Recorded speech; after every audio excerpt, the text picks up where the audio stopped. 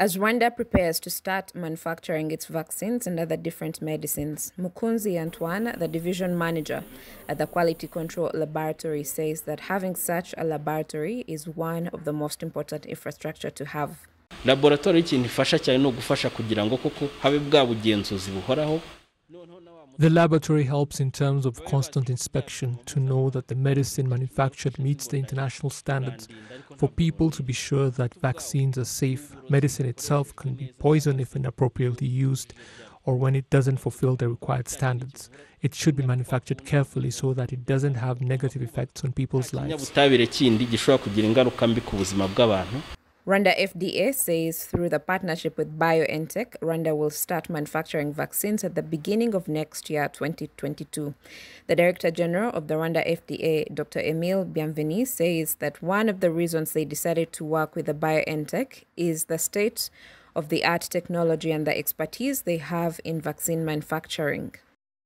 ni tekinoloji bita uh, uh, RNA technology They're not the only ones that use it, but it's an updated technology in terms of vaccine manufacturing. The mRNA technology that uses cells to make the vaccine. When people hear of vaccines, they think it's something that causes diseases that are not as severe as the original, and that it is given to someone so that the body can become accustomed to it. But when you go beyond and study the cells that cause this disease, you can make the vaccine based on this information, and that's what this technology is specific for. So that's why we chose to go with this. kuko wagiye kure ukareba uko iyo ndwara ivuka ukaba washobora kuyihagarikira aho ngaho Dr. Emile also acknowledges that the country is in the process of making its own vaccines and other different drugs aimed at improving the health of Rwandans and everyone in general. tuzatangira dukora inkingo za malariya We shall start with the malaria and tuberculosis vaccines. The reason we are starting with those is because across Africa and other developing countries, these diseases are dominant. And for the COVID 19 vaccine and other diseases that affect the world, that too is in the pipeline. What that means is that Rwandans will lead healthy lives. What we would otherwise have to import will now be done within the country, with the quality being emphasized. And it will also help the economy to grow because the vaccines we manufacture here will be distributed to other countries. We are a country that seeks solutions.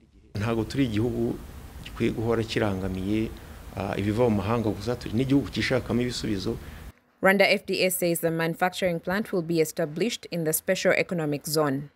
inyubako zigezweho iki gihe z'inganda Our plan is to ensure that all that is required to start come 2022 will be available.